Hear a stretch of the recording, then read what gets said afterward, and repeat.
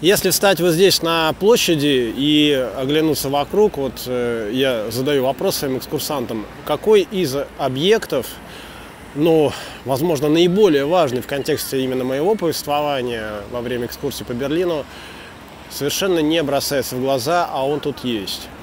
Люди смотрят по сторонам, э, видят, э, ну, прежде всего, что они видят? Они, конечно же, видят вот этот вот собор, впечатляющий собор, который вообще-то протестантский. Протестантский храм – это, знаете, сама скромность, э, само такое, когда отводил несколько дней экскурсии, у тебя пропадает просто словесный запас.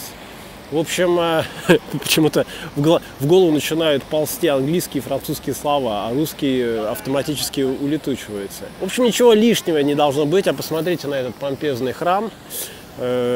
Хотел Кайзер сделать так, чтобы он был самым-самым-самым во всей Европе. Затем они, конечно же, смотрят на шедевр Карла Шинкеля, который много чего построил в Берлине, и вот сейчас тут пытаются восстановить здание новой академии. Оно было полностью разрушено, считается искусствоведами одним из таких наиболее современных зданий 19 века, то есть протоконструктивистское даже в каком-то плане. Построила не построил, а по его дизайну была сделана решетка Королевского моста. Вот он вот там вот, вот находится, я потом досниму. Он изначально был э, собачий мост, потому что через него в Тергартен отправлялись на охоту все курфюсты. И если вы приедете в Петербург и посмотрите на Аничков мост, вы с удивлением обнаружите, что как-то вот рисунок э, решетки очень сильно напоминает Королевский мост в Берлине. В искусствоведческих книгах деликатно пишут, что он был позаимствован. Ну, в общем, скоммуниздили его. Э, ну и не скрывали на самом деле этого. Настолько Карл Шинкель был продвинутым архитектором. Вот там вот на заднем плане еще виднеется церковь, по его же проекту возведенная, собственно, слева от него и находится эта самая архитектурная школа новая. У нас в Петербурге Карл Шинкель построил, как вы знаете, в Александрии готическую церковь, при этом православную святого Александра Невского. Ну и вот этот вот музей, музейное здание, вот сейчас вот автобус отъехал, вот как раз вылезло здание новой школы, такое красное, обтянутое пленкой с рисунком стен этого новой школы. В общем, вот смотрят они на это прекрасное сооружение, там пытаются что-то угадать. И никто не обращает внимания вот на тумбу, на тумбу, которая находится в углу площади, э, по той простой причине, что никто никогда не смотрит на мемориальные доски. И на такую тумбу, ну кто будет на нее смотреть? А между тем э, тумба, она неспроста там поставлена. На ней нанесено имя и фамилия героя, который пытался протестовать конкретными действиями. Не только он, еще члены общества «Красная капелла», развесили листовки по всему Берлину. Против чего они протестовали? Против выставки, которая называлась «Советский рай». Она находилась, точнее, она была организована именно здесь, вот там, где фонтан, там стоял павильон.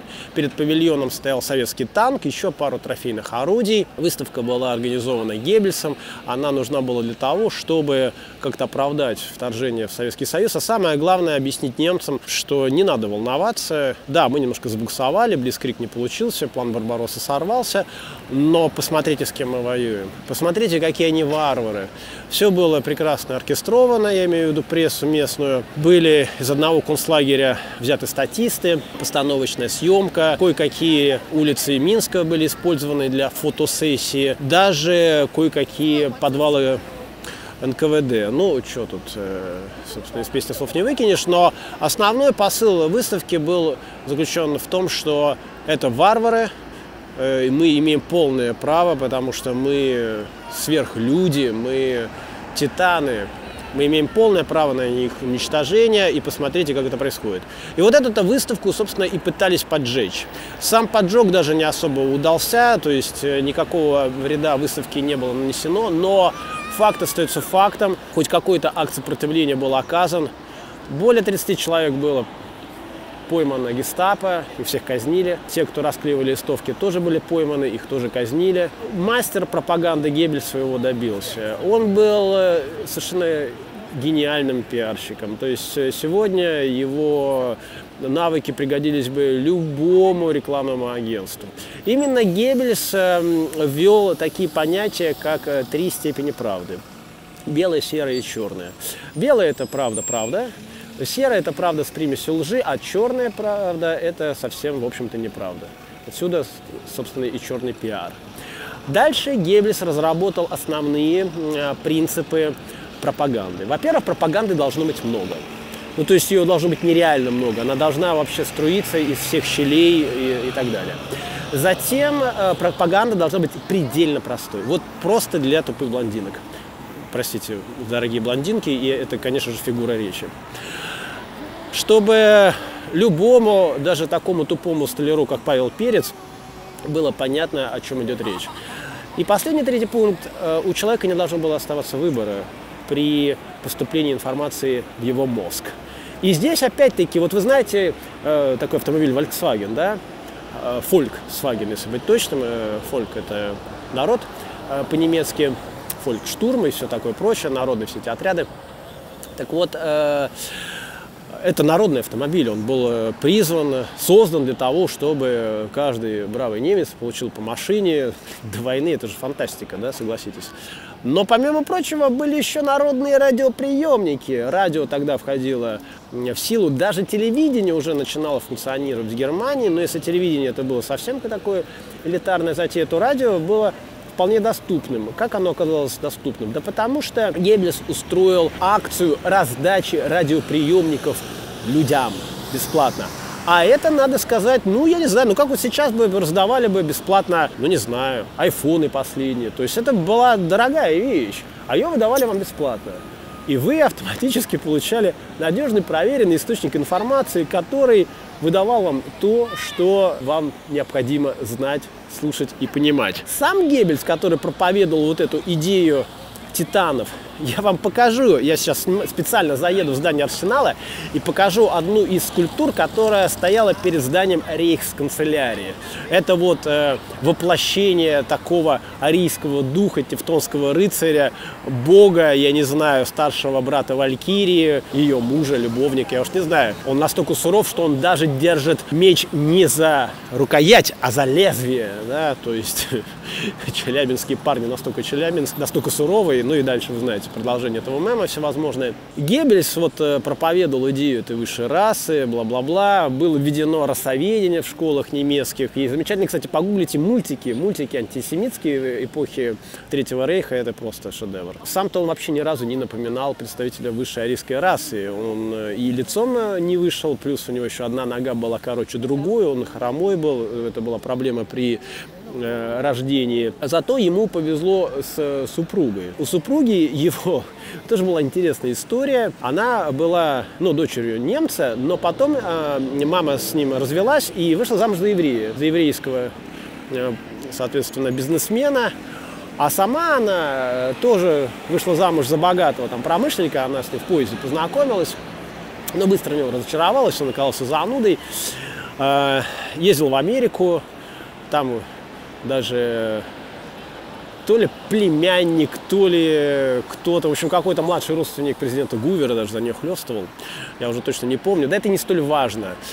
А потом, а потом вообще в ее жизни это уже э, в дальнейшем раскопали исследователи, ну, потому что семейная жизнь Геббельса, как вы понимаете, вызывает определенный интерес. Выяснили, что у нее был еще любовник русский еврей, который стал потом одним из э, активных участников движения «Сионизм». В общем, такая насыщенная у нее была жизнь. Но попав на э, один из съездов НСДП, она была потрясена, потрясена речами этого Геббельса, у них там все завертелось, закружилось, она была безумно красивой женщиной, и у них э, народилось аж шесть, по-моему, детей. И все они, если вы посмотрите, как их зовут, они все э, Хильда, Херда, я не знаю, Хильдебранта, Хильдегерда. В общем, они все на букву Х. Дело в том, что Гитлер это у нас он Гитлер, а вообще он даже по-английски Хитлер. Ну и по-немецки он тоже Хитлер. Она всех своих детей называла вот на эту букву, потому что она считала, что они посвящены фюреру. Геббельс инкорпорировал свою судьбу, свою семью, извините, в эту пропаганду всецело. То есть его дети, они были представителями арийской расы. Они вот э, фигурировали на различных там э, фотоснимках, где они зигуют, они в кинохронике присутствовали и так далее. Но когда стало понятно, что упс, да, я вот водил свою группу, показывал место, где, собственно, был бункер фюрера. Там э, несколько последних дней были, дней было, были очень значимы. Во-первых, на один день Ева Браун наконец стала госпожой Гитлера. Там произошла эта прекрасная, великолепная свадьба. После этого она буквально один день наслаждалась своей ролью первой леди государства, но потом пришлось и после смерти э, Гитлер назначил Геббельса своим правоприемником. И он один день был вот самым главным в Третьем рейхе. Буквально один день. Но день закончился, и они с супругой отравились. Потому что супруга не видела смысла жизни без э, Гитлера, но она точно так же не видела смысла жизни для своих детей. Старшенький-то у нее был э, плену, если я не ошибаюсь. И она написала ему письмо, что я не вижу смысла оставлять в живых всех остальных. Им вкололи морфий. Пятерым там было, соответственно, по-моему, четыре дочки, один сын. И после этого положили цианистый калий в рот. И, собственно, на этом их жизнь закончилась. И когда пришли Э, наши войска, они увидели, конечно, феноменальную картину, вот эти мертвые дети. Ну, на самом деле, после того, как они побывали в, в концлагерях, в общем-то, им уже было не мудрено и такие картины наблюдать. Вот так закончил свои дни этот э, бес, самый натуральный, который, тем не менее, придумал, э, придумал эти основные принципы. И вот э, когда ты задаешься вопросом, а ты постоянно задаешься вопросом, как вот немецкая нация, которая там вот Шиллер, Гёте и все такое прочее, вдруг стала вот такой вот. Ну, тут есть, конечно, объективные причины, да, то есть поражение в Первой мировой войне, и тогда возникла вот эта идея удара в спину. То есть немцы же они были не виноваты. Это все проклятые вот либералы, вот эти вот евреи, жидомасоны и все такие прочие, вот они. Они все устроили. Германия это выигрывала. Германия до последнего дня говорили, что она выигрывала. Точно так же, как и Геббельс потом промывал мозги, что э, на самом деле все хорошо на Восточном фронте, хотя там уже было далеко все нехорошо. Вот Германия, она вот такая. И Поэтому, поэтому виноваты не мы, виноваты не немцы. С немцами все нормально, и с армией было все нормально. Виноваты враги. Вот эта вот теория удара в спину, она была крайне популярна в фашистской Германии. Потому что, ну, что уж тут поделать. Если мы задумаемся, например, да, о том, а, а, почему, скажем, развалился Советский Союз, то мы узнаем у ряда личностей, что вот он по какой угодно причине развалился. Рейган его развалил, это правда, Рейган приложил усилия к этому. Там а, какие-то внутренние враги диссиденты, там, не знаю, Солженицын, да кто угодно. Но только не сама система. Я не хочу сказать, что это может привести там, к возникновению фашистского движения в России, боже упаси. Но я к тому, что очень, очень легко насаживать на вот эту идею внутреннего предательства главную ось своей пропаганды очень легко быть Геббельсом, когда ты вот орудуешь такими простыми и доступными инструментами. Мы не виноваты, мы нормальные, и система у нас была самая лучшая в мире. Но вот просто так получилось. Просто, понимаете, как бы внутренние враги. Вот враги, во всем они виноваты, эти враги. Вот эти либералы проклятые, антисоветчики, вот эти вот Павлы Перцы, вот которых уже давным-давно надо расстрелять. Вот это все они. Вот если бы не они, все было бы хорошо.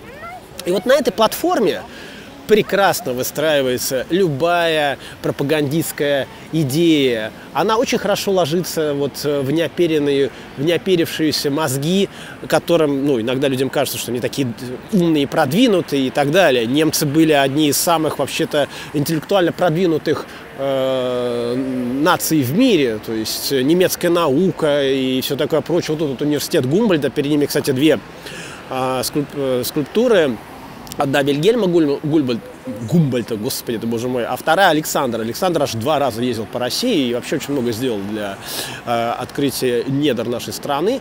Э, но это отдельная песня. Так вот, э, когда вы э, об этом думаете, тут нужно понимать, что есть, э, как обычно, две ипостаси. Одна нужно посыпать голову пеплом, э, каяться во всем, а другая говорит, это вообще не мы и прочее. То есть вместо того, чтобы попытаться здраво разобраться в ситуации, люди всегда стараются э, найти какие-то наиболее простые решения, потому что вспоминаем правила Геббельса, да-да-да-да-да, пропаганда, она должна быть предельно простая.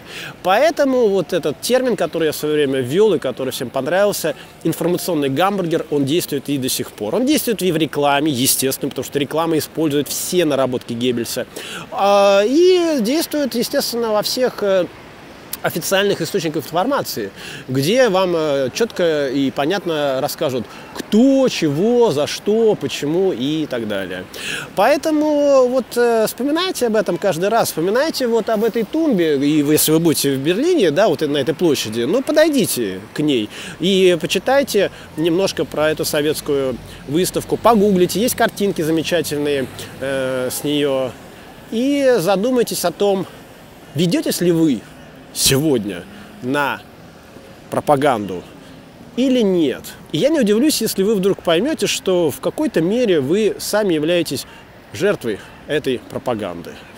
Ну а в конце, по традиции, анонс – во-первых, если вы хотите поехать с нами в Берлин в ноябре или в марте, вы можете написать мне об этом. Сейчас идет набор групп. Точно так же по поводу Парижа в конце января. Во-вторых, пока что еще идут экскурсии в Петербурге и в Москве. Анонсы вы можете увидеть у меня ВКонтакте или на сайте. Все ссылки есть в описании под этим видео. Обращайтесь, и отвечу на все вопросы. На этом все, дорогие друзья. С пламенным приветом из столицы Германии. Оставляйте комментарии внизу.